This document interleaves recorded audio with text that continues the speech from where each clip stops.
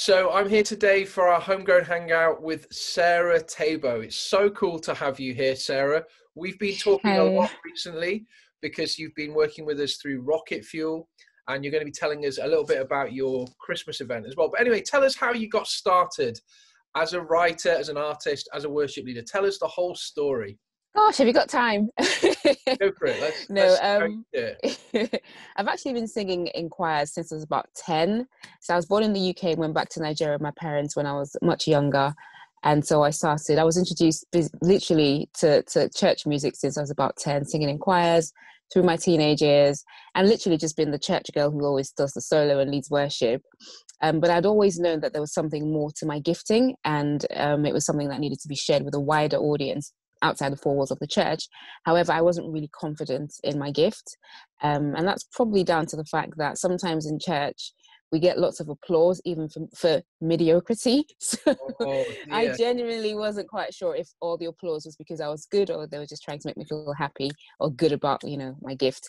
But over the, over the course of time, I actually um, found people who were reputable and who validated my gift and they were like you should do something. And so 2014 i started the journey. I actually had a, a period of fasting which out of the blues i woke up one morning and god said fast for 40 days. It wasn't even about music i just had that instruction. And when i did that i got a very clear sort of picture of what my first album should be called what the strategy for the promotion should be. And this is somebody who's never done any of this before.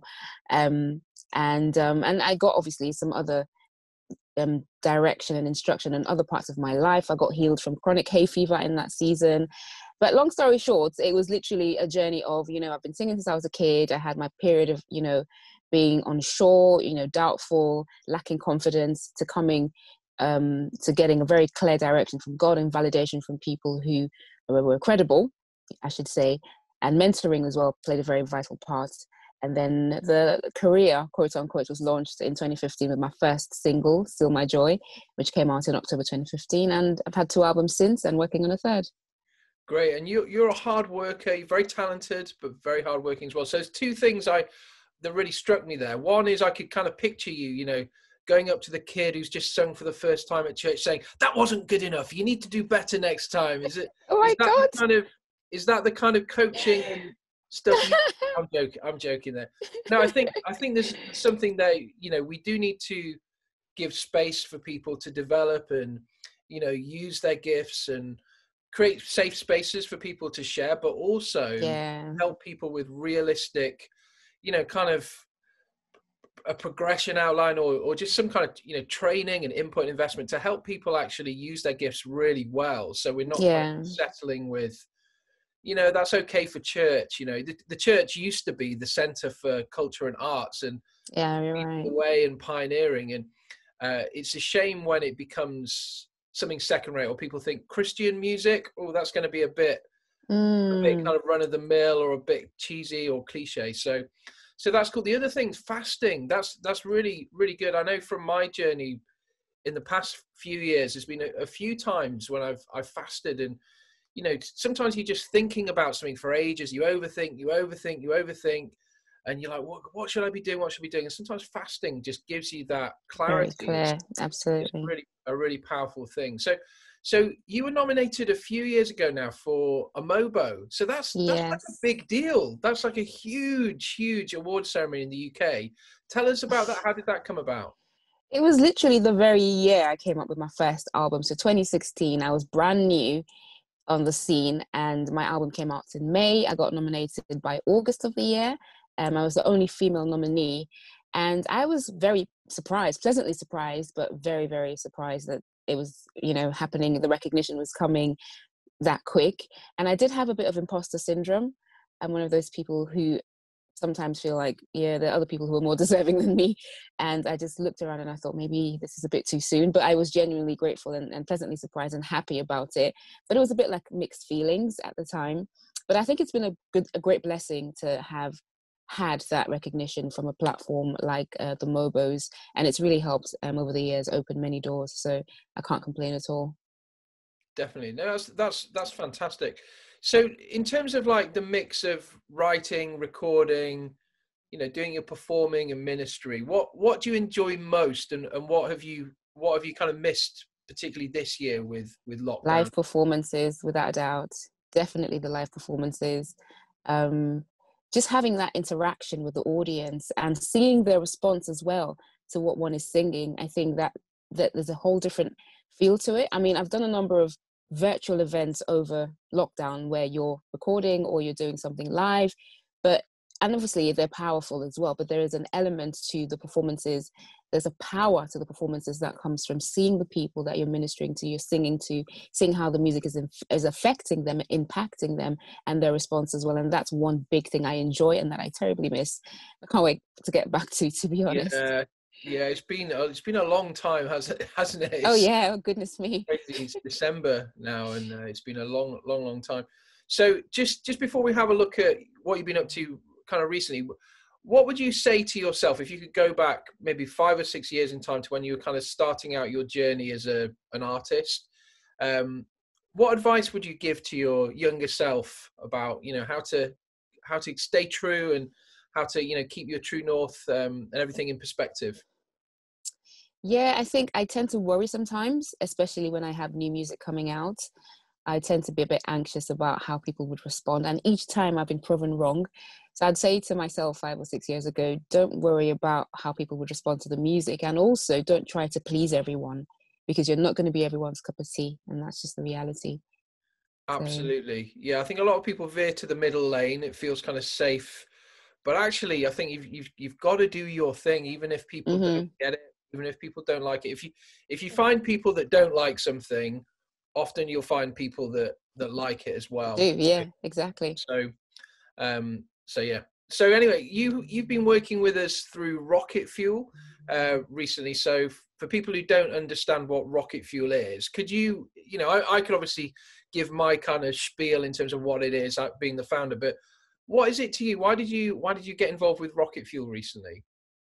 I mean, Rocket Fuel for me is an answer to prayer it's an eye opener. I could go on and on, but then you might just your head might start swelling on the camera, so I'm just gonna stop.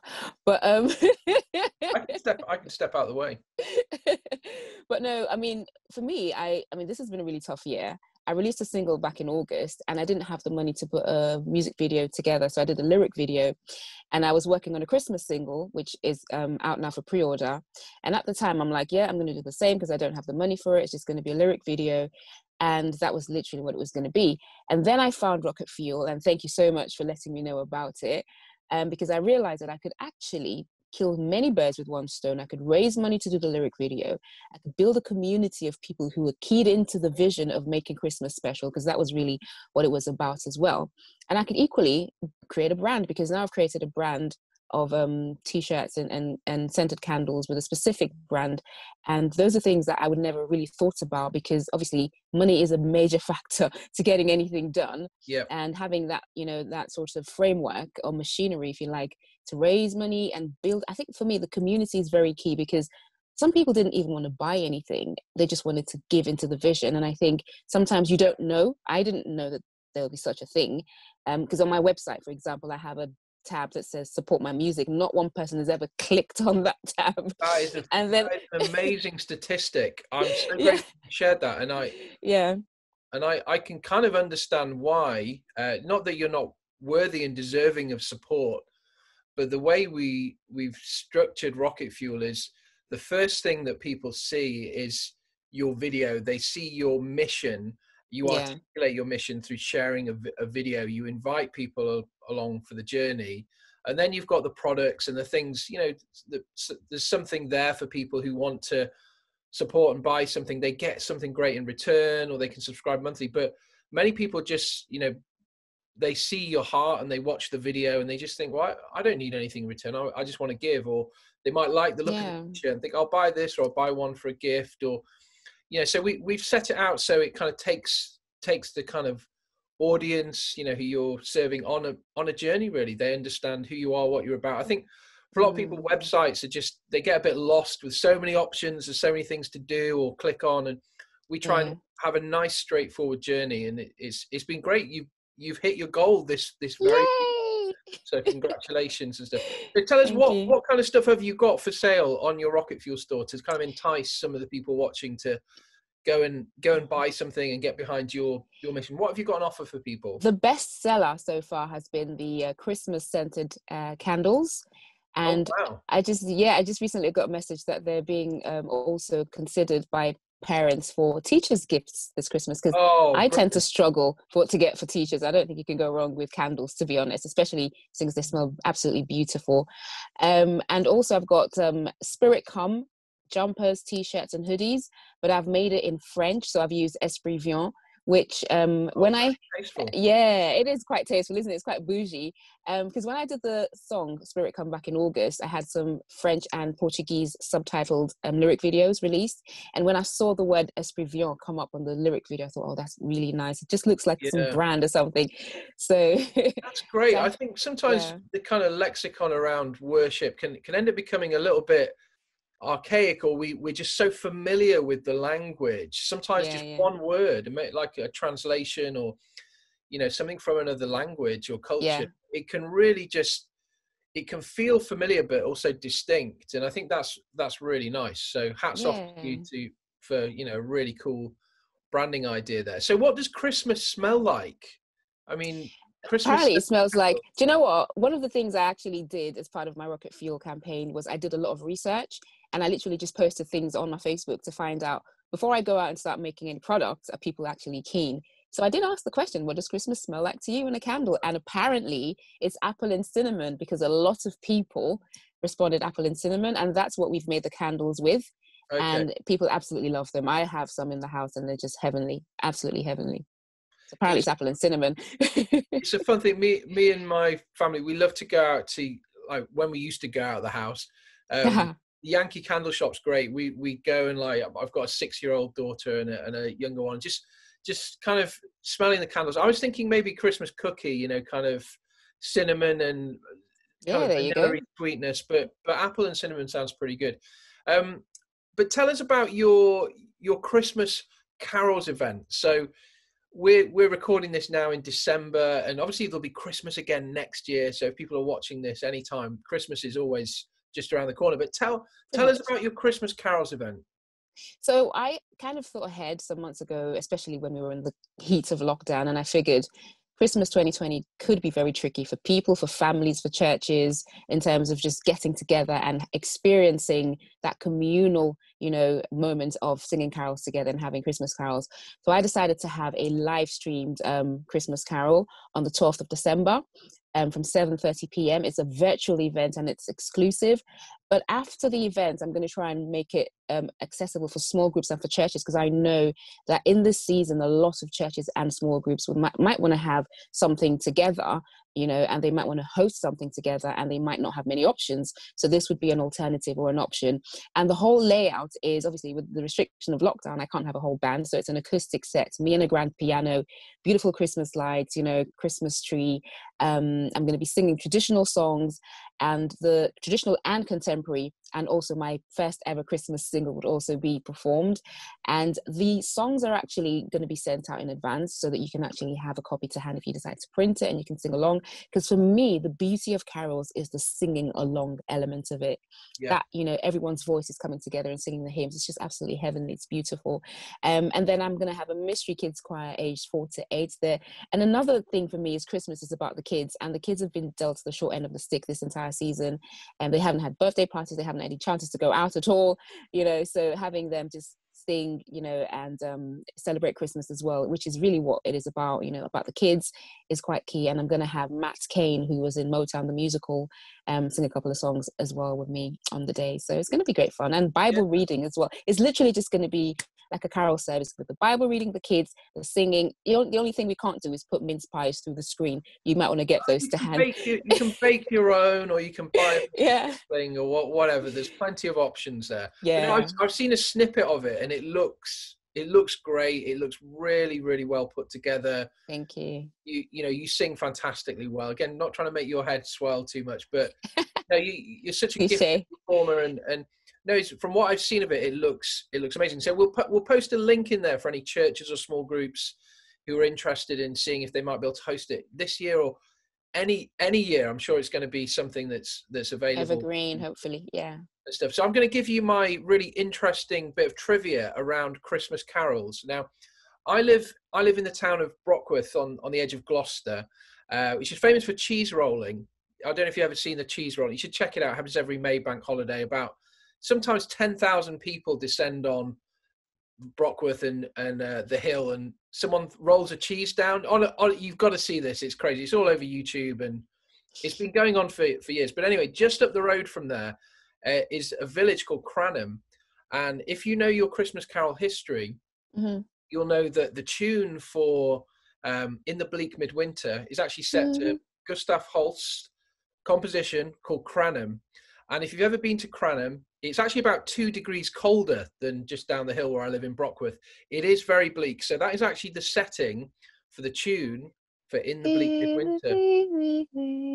Really? I, I, go I go there literally every week. I'm I'm in Cranham. Just to be a bit bleak. Just, particularly at Christmas, you really you really feel that bleakness, that coldness, and the tune just kind of it's like you can hear it kind of echoing oh, around oh, wow. the hills and, and is it picturesque but as well? It's yeah, it's a it's a lovely little village just on the edge of the Cotswolds. So mm. so it's really nice. So Sarah, just one one last thing. Um, have you got any encouragements for artists, writers, people sharing their own songs? We're we're all about the new song with homegrown worship. I know you've given mm-hmm. your advice to your younger self about not worrying, but what encouragements could you give other writers, artists, and churches to to share their songs and, and make more of an impact through their music, mission, and ministry? I think it's, as you say, sharing songs is very important, but I think the creative process as well is equally as important, if not more, because when we talk about creating music for churches and for use in, you know, worship in churches, there are so many elements to it. And I think for me, one of the most important things is the doctrinal soundness of the songs that we put out. Um, I recently actually partnered with some friends of mine on my new album coming out to sort of make sure that as I'm writing the songs, we're looking through the doctrinal soundness of the songs as well as they're going to be used in churches.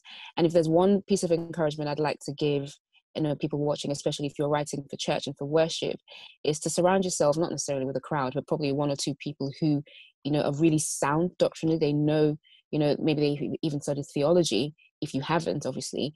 And um, they can actually sort of just help you through with feedback and constructive reviews of how balanced the music is because i've learned over the years that sometimes you know heretical ideas creep into church through music and equally a lot of people learn their theology through music a lot of the things that i know you know and i've had ringing in my head since i was a kid some, from some of the songs that I've been yeah. singing or learning in church. So, as creators of music that would inform people's faith, I think it's very critical that it's not something that we talk about all the time, but for me, it's very important that our songs are doctrinally sound. Yeah, no, that's absolutely right. I was thinking about this yesterday that, you know, how many sermons have I heard? A thousand or more sermons. How many sermons do I remember? Not very many. Not very many. Yeah. How, many how many go really deep? But then the songs that we learn, they do stay with us for for yeah. years and years for our, for our entire lives often mm. so it's so mm. important that we are teaching and, and, giving people i guess kind of you know good biblical reflections of, of who god is and also discovering god you know throughout our lives and, and through through the bible through our experiences it's so important mm. that we mm. we give people um you know a way that they can understand who who he is and in an accurate sense as well. Action, yeah, um, absolutely. So that's that's really sound advice. So I want to encourage people go and have a look at Sarah's Rocket Fuel page. Now the thing with Rocket Fuel is she's she's run a mission and she's funded her her goal, but she still has all these great things on offer. You can subscribe monthly. You can support her ministry as well. Have a look at the Christmas events. Thank you so much, Sarah, for joining us today. Thank you. You're a busy lady with work and music and ministry and family. So thank you for making time today. No, thanks for having all me. that you're doing and excited that you're going to be able to get out again next year to do some events and ministry with real people. Yeah, can't wait. real people. There we go. All right. Yeah, thank you. All right, you take Bye, care. everyone. Bye, Andy. Cheers.